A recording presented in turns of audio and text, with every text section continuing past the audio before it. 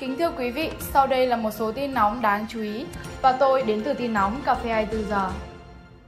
7 tài xế xe tải sử dụng ma túy trong cabin. Nhiều phiên tòa sẽ xét xử trực tuyến trong mùa dịch COVID-19. Bất thường, 150 người đứng trên một sổ đỏ. Chủ tịch Quốc hội Công du châu Âu thúc đẩy ngoại giao vaccine. Thêm trẻ Afghanistan chết vì nấm tử thần ở Ba Lan. Thủ tướng Thái Lan Prayut Chan-o-chan vượt qua các cuộc bỏ phiếu tín nhiệm. Kính thưa quý vị, và sau đây là một số thông tin chi tiết. 7 tài xế xe tải sử dụng ma túy trong cabin ở Lâm Đồng. Huỳnh Ngô Thế Kỷ, 28 tuổi, cùng 6 tài xế xe tải đường dài bị bắt quả tang, tụ tập sử dụng ma túy trong ô tô, đậu ở khu lưu trú phòng dịch. Sáng ngày 4 tháng 9, Kỷ và 6 tài xế bị công an huyện Di Linh tạm giữ, điều tra về hành vi tổ chức sử dụng trái phép chất ma túy. Chiều ngày 2 tháng 9, các trinh sát hình sự bất ngờ kiểm tra khu lưu trú tập trung phòng COVID-19 dành cho các tài xế liên tỉnh từ các vùng dịch về Lâm Đồng ở thị trấn Di Linh. Qua kiểm tra, cảnh sát phát hiện trong cabin một xe đầu kéo có kỷ và 6 tài xế khác có biểu hiện sử dụng ma túy. Nhà chức trách cho biết tại hiện trường thu ma túy tổng hợp, ba tờ tiền được cuộn tròn và một thẻ nhựa, đĩa sứ được sử dụng ma túy. Bảy người khai đều là tài xế xe tải, chuyên vận chuyển hàng hóa và đăng ký lưu trú tại đây. Kỳ khai mua ma túy rồi rủ nhau nhiều người cùng đến sử dụng. Nhiều phiên tòa xét xử trực tuyến trong mùa dịch COVID-19. Dự kiến việc xét xử trực tuyến chỉ áp dụng với vụ án hình sự có khung hình phạt dưới 15 năm tù, chứng cứ rõ ràng và bị cáo đang tạm giam theo Tòa án Nhân dân tối cao. Ngày 2 tháng 9, Tòa án Nhân dân tối cao cho biết đã hoàn thiện dự thảo quy chế về tổ chức phiên tòa, phiên họp trực tuyến để trình Ủy ban Thường vụ xem xét. Đây là hình thức thử xét, không bắt buộc bị cáo, bị hại, đương sự, người tham gia tố tụng khác phải có mặt tập trung tại một phòng sự án nhưng đảm bảo theo dõi họ và tham gia vào cùng một thời điểm. Tình hình dịch COVID-19 diễn biến phức tạp đã ảnh hưởng tới hoạt động của ngành tòa án.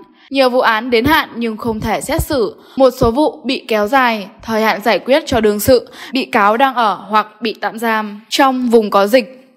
Tòa án Nhân dân tối cao cho rằng phiên tòa, phiên họp trực tuyến sẽ giải quyết những vấn đề này, phù hợp với xu thế toàn cầu và cam kết Việt Nam khi tham gia Hội đồng Tranh án châu Á ASEAN. Trước đó, ngày 26 tháng 8, tại phiên họp thứ 13, Ban chỉ đạo cải cách tư pháp Trung ương, Chủ tịch nước Nguyễn Xuân Phúc cho rằng việc tổ chức phiên tòa xét xử trực tuyến là tất yếu, cần thiết trong bối cảnh COVID-19 đang đe dọa nghiêm trọng đời sống nhân dân. Chủ tịch nước yêu cầu xét xử trực tuyến phải đảm bảo hiệu quả, bảo mật nhưng không ảnh hưởng đến quyền lợi, lợi ích hợp pháp của công dân đương sự. Bất thường có 150 người đứng trên cùng một sổ đỏ. Việc đồng sở hữu các bất động sản là chuyện bình thường vì được pháp luật cho phép.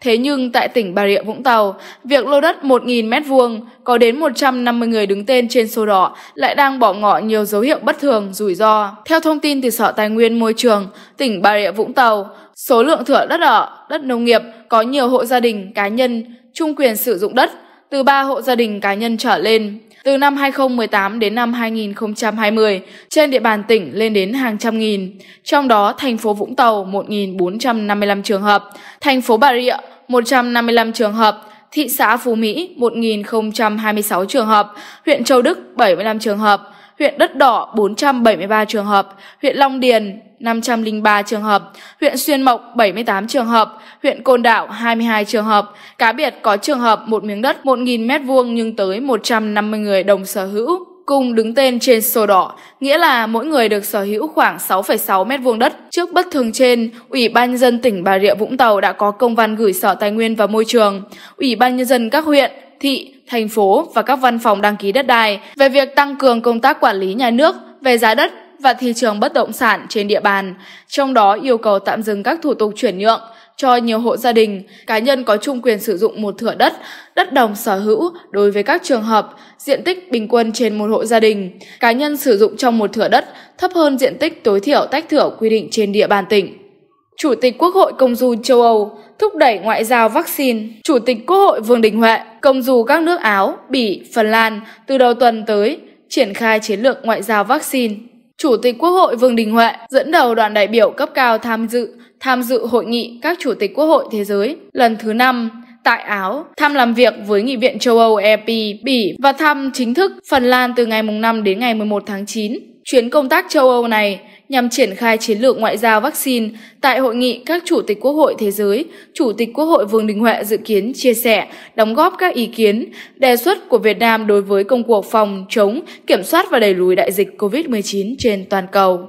Thông qua tiếp xúc song phương, đoàn công tác Việt Nam sẽ triển khai tích cực ngoại giao vaccine, trao đổi, vận động các nước, đối tác, tổ chức quốc tế và doanh nghiệp tài trợ, viện trợ vaccine, thuốc điều trị, trang thiết bị y tế, thúc đẩy thương mại vaccine, tranh thủ nguồn dư vaccine của các nước nhằm đa dạng hóa nguồn cung vaccine cũng như thuốc điều trị và trang thiết bị y tế cần thiết cho phòng chống dịch trong nước.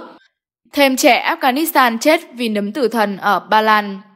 Bé trai 6 tuổi tử vong một ngày sau em trai. Sau khi ăn súp nấm tử thần mà gia đình hái bên ngoài khu cách ly ở Ba Lan, em bé thứ hai trong một gia đình người Afghanistan di tản từ Kabul tới Ba Lan đã không qua khỏi ngày 3 tháng 9. Dù được ghép gan khẩn cấp sau khi ngộ độc nấm tử thần, em trai của bé 5 tuổi đã chết hôm ngày 2 tháng 9 tại bệnh viện nhi ở thủ đô Warsaw, nơi cả hai điều trị. Chị gái 17 tuổi của hai em cũng bị ngộ độc và phải nhập viện điều trị nhưng đã ra viện, tình trạng ổn định. Bác sĩ cho hay lượng độc trong nấm ít gây hại cho người trưởng thành hơn trẻ em vì trọng lượng cơ thể lớn hơn. Gia đình gồm hai người lớn và bốn trẻ em được cho là đã nấu súp từ nấm tử thần, một loại nấm cực độc trong khu rừng xung quanh trung tâm cách ly y tế dành cho người tị nạn Afghanistan gần Warsaw. Thủ tướng Thái Lan Prayut Chan-o-cha vượt qua cuộc bỏ phiếu tín nhiệm. Nỗ lực của phe đối lập một lần nữa thất bại sau khi Thủ tướng Thái Lan Prayut Chan-o-cha và năm bộ trưởng vượt qua cuộc bỏ phiếu tín nhiệm. Tỷ lệ phiếu tín nhiệm so với bất tín nhiệm đối với tướng Prayut là 264 trên 208, cao hơn so với Bộ trưởng Lao động Saktrat Chomklin là 263 trên 201, kèm 10 phiếu trắng.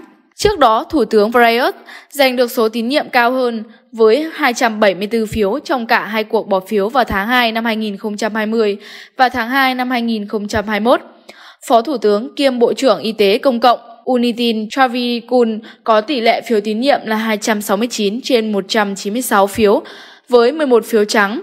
Đây là lần thứ ba phe đối lập tại Thái Lan tìm cách thách thức chính phủ của ông Prayut kể từ cuộc bầu cử năm 2019 nhưng đều thất bại do liên minh của ông nắm khoảng 60% ghế tại Quốc hội.